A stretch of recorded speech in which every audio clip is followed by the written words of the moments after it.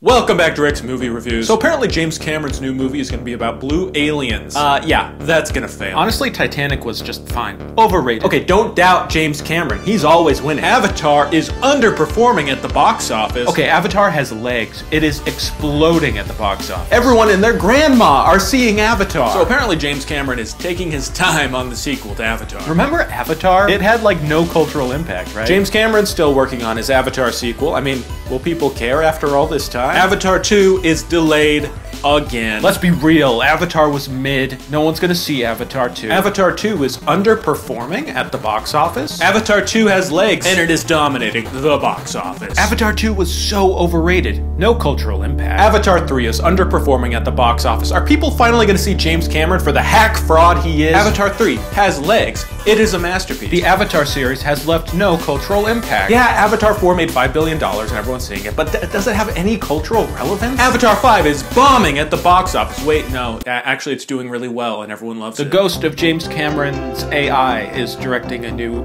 Avatar sequel. Avatar 6 is mid. Avatar 7 has had no cultural impact. Avatar 8 is Avatar mid. 9 is a Avatar hit. 10 Where's the cultural, no impact? cultural impact? I don't see any cultural impact. Where are the memes for Avatar 15?